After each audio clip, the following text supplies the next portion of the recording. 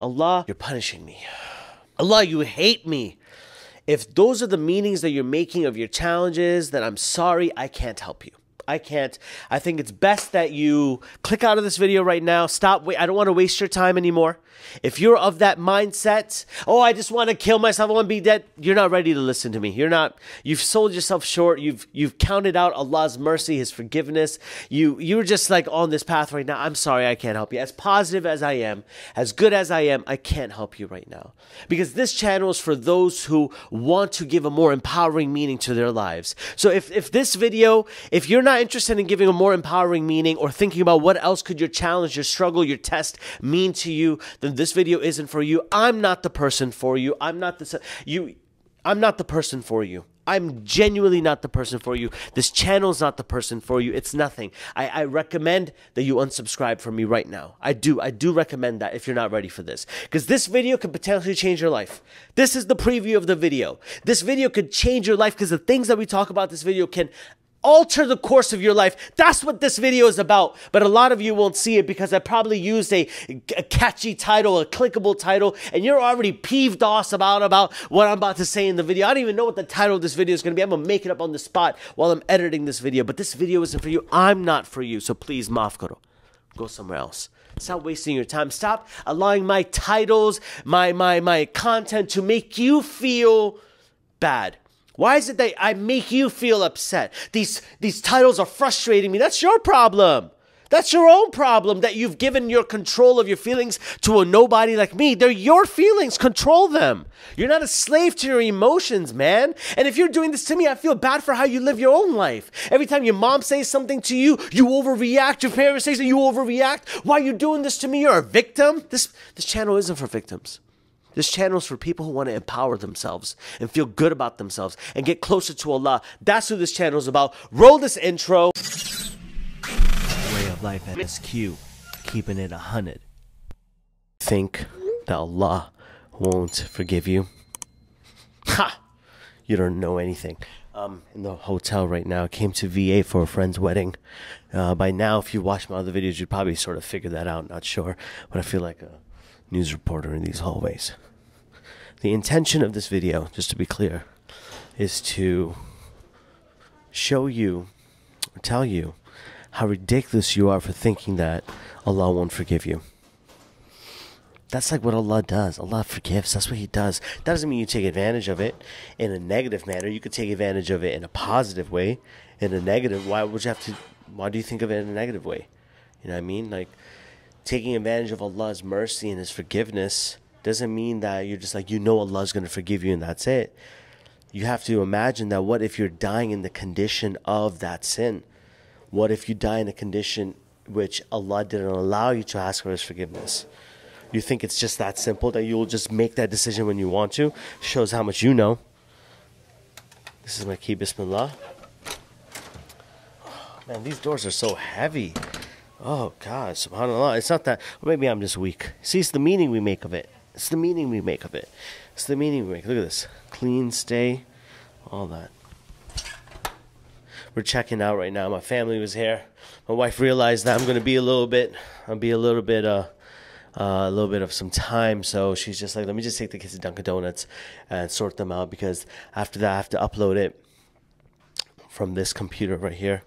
And um, yeah, I have to upload it and then all that good stuff too. But no one watches you, SQ. Allah watches me. That's all. That's it. Allah watches me. Allah watches you, bro. You got to know that Allah watches you. Allah subhanahu wa ta'ala knows. Isn't that the number one view you want? Subhanallah. What is it? See, see how, how can I like look at the camera? I feel like I'm staring at the, oh man, this is trippy. This is trippy. Reflection. We are believers. We are reflect, you know, mirrors to each other. This is here. here. Here's the whole idea of the video. I was gonna have it ready here, and I was gonna sit down and talk to you about the forgiveness of Allah. That's what I wanted to do. Inshallah, Allah allows me to accomplish that goal. There's no guarantee. This might be the stupidest video you've ever seen, or it might be the best.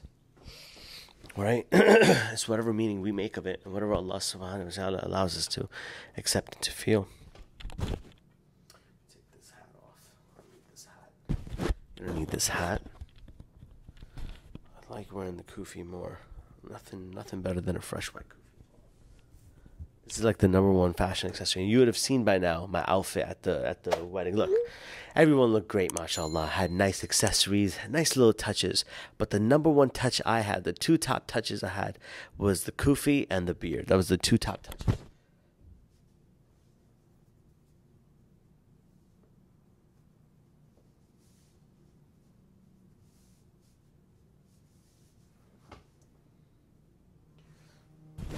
The plan now is to go to an outlet mall while we're here in VA, and then we drive back to New York. Is LeBron winning his sixth ring? Uh, his sixth ring tonight. His fourth ring tonight in Game Six. We'll find out. We'll find out very soon. But to think that the Heat have given up is ridiculous. You just that's the heart of a champion right there. You know, I wouldn't be surprised if they take it to seven games. Wouldn't be surprised because they believe in themselves. You know what I mean? They they know that this is all a part of their story, all part of their resume. Isn't that the same case with us, with you and I? That everything that's happened for us, not to us, was all for our own benefit? Hasn't it been true? Haven't you found that? Think about a past event or or or, or a time where you did something and didn't go well for you. Like it was something that went against what you wanted. But then later on, you found out that it was for the best. Um, let me give you a personal story of mine, right? At one point, I don't know, I think it was 2016. I was so fed up with my school, the school that I currently teach at, because I've been trying to get, you know, Jumu'ah time slot off to go pray Jumu'ah. And uh, I had seen also that all my friends have were accomplishing that. So I'm thinking I'm in this kuffar school. Astaghfirullah. Like look how I was thoughting, uh, thinking at that time. Thoughting. they're not even giving that to me while my other, you know, they're not obviously kuffar. I'm just, just saying that. I hope you guys understand my sarcasm sometimes. I know sometimes I might go over your head, you know, but even like with this story I'm telling you right now, I, you know, like, it's it's a part of it. Maybe that's what the video title is going to be. It's going to be about. It's going to be about me not going. Anyways, I'll tell you the story right now. So 2016 comes.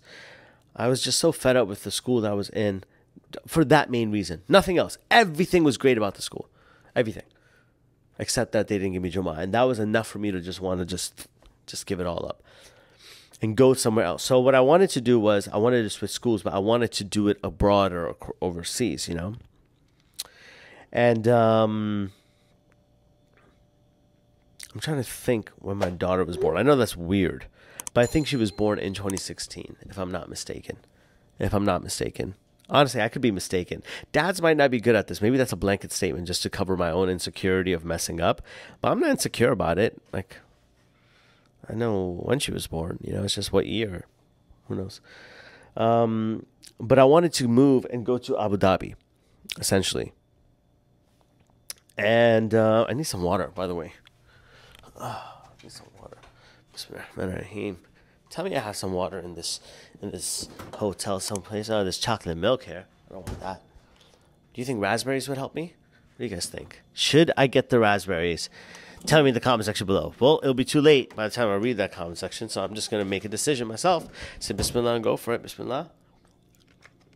Mm, okay. Yeah. This should hold down my cotton mouth. okay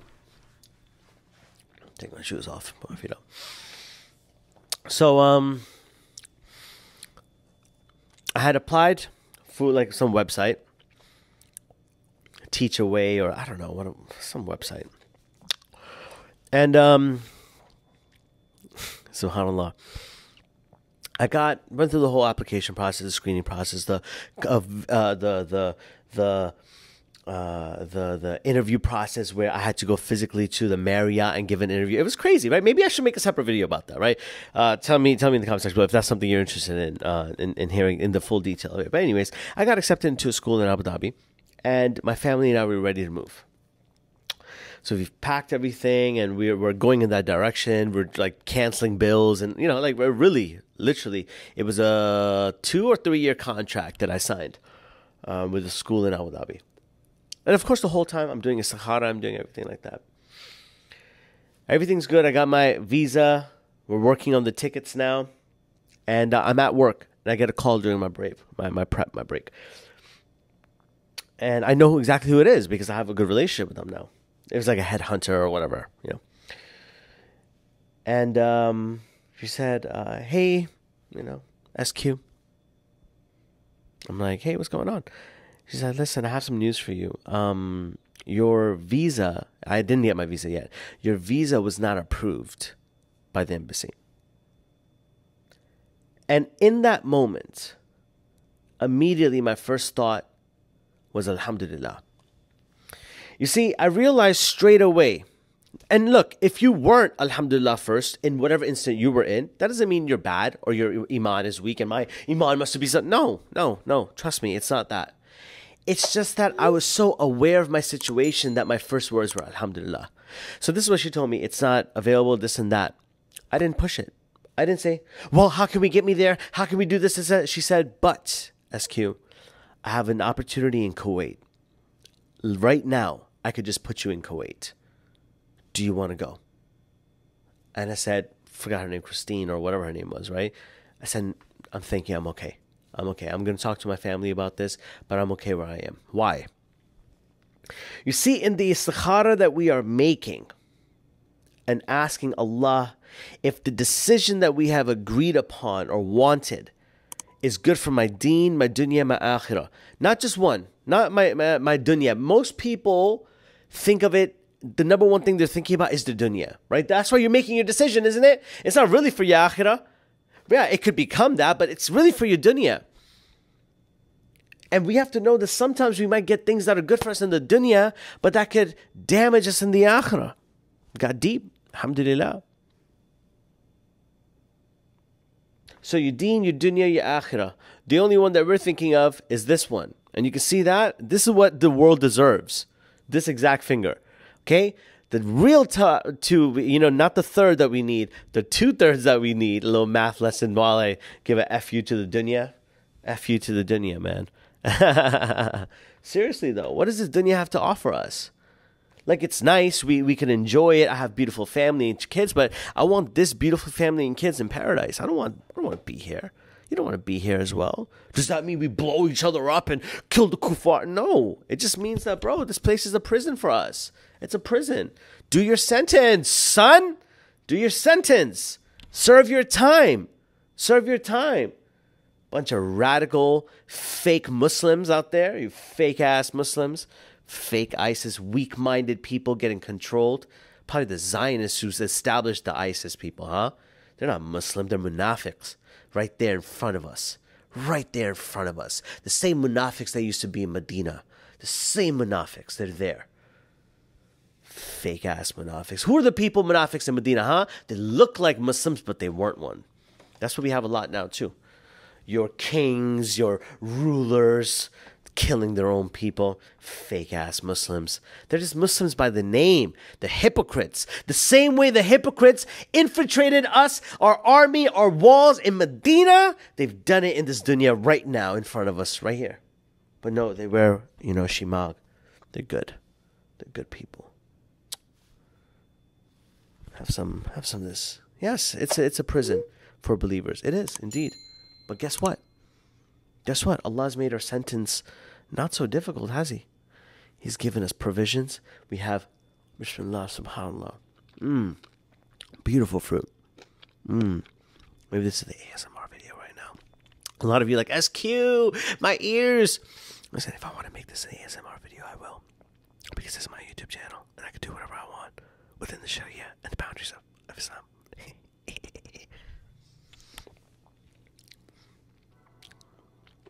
First words were Alhamdulillah going back to the story.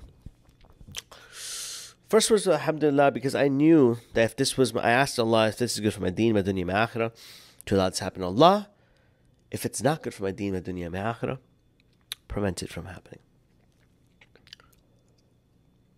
So I went with the latter. I said, you know what, Allah, it wasn't good for my deen, my dunya, my akhirah. Maybe it could have been good for my my my my deen and my uh, my my my my deen and my akhirah. Maybe maybe it could have been, but it wasn't good for my dunya, so Allah prevented it. Right? Or maybe it was only good for my dunya and not for my deen or my dunya, my, my akhirah, right? Maybe it was the other way around too, right? But I think that, I don't know what Allah would do, right? But the priority is the, the akhirah, obviously. But maybe it was only good for my dunya, not my deen or my akhirah.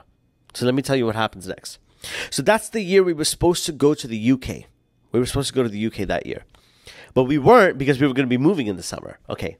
Plans got canceled. My wife is just like, hey, why don't we just go to the UK this year? I said, okay. We had got some tickets, but we weren't sure if they were going to work because we canceled the tickets. I don't know what it was. Okay.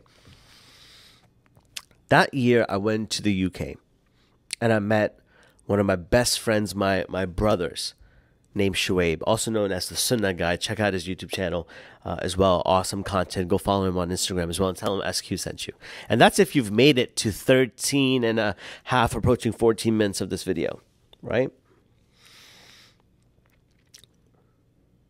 And it was the Sunnah Guy, Shuaib, who maybe he doesn't even want people to know his name. Like, I'm just like SQ. Maybe it's the Sunnah Guy who who encouraged me and told me that I need to start a YouTube channel. He, I never even thought of it once, not once. He said you need to. Look at look at the foresight. This man has so much foresight. May Allah bless him and increase him. Where's my phone? I'd message him right now. I'd message him right now and just leave him a voice. I'm gonna do that right now because I feel like doing that. That's more important than this video right now. I owe that. Obviously, I owe Allah everything, but He deserves a lot of the love. A lot of the love. Ooh, my iPad video also just got finished. Oh, yes. Yes, brother. Brother. I don't know how I'm going to upload it because it's going to take forever, maybe. Maybe to upload it might take forever, but we'll see what happens. Let me just send a very quick. Let me just go to Shuaib and just send him a quick Shuaib. Shuaib. Uh, Shuaib. Shuaib. Assalamu alaikum, my beautiful, beautiful bro. I pray that you are well. Uh, I just want to say, may Allah subhanahu wa ta'ala increase you and bless you, my bro. I was making this YouTube video and I was talking about something and I just went on a tangent for some reason. Sometimes I don't even know how I get here, bro, honestly. Um, but it was about how something could be or seem or appear bad, but it actually turns out to be a blessing from Allah. And I was talking about how I was not supposed to come to the UK the year I met you, and that's the year that you told me that I need to start a YouTube channel. And honestly, bro, that obviously changed the course of my life. You know, like honest, honest to God, you know, like I did not expect any of this to happen. And it's obviously, obviously, thanks to Allah Azza wa Jal but it has a lot to do with you too, my bro. And I, honest to God, pray that I make it and I'm successful to a high degree, not for my own sake, not for my family's sake, but so that you get all the rewards, bro. You you obviously mean a lot to me. Your family means a lot to me. Your children mean a lot to me. Just know that, you know, like God forbid anything ever happens to you, bro. You know I would always take care of your family, bro. You know, like I, I love you so much to death. And um honestly, man, I, I, I pray, I pray then that when such a sincere person like you makes it to paradise, you remember me, bro. You remember me because I'm not the best of people, okay? And I just know that I love you a lot and and I love you from the bottom of my heart. Okay? And I pray that when you make it to paradise, you remember your brother. You remember remember me. Wallahi, I, I love you so much, bro. And I pray that Allah ta'ala increases you and blesses you and unites us in paradise together.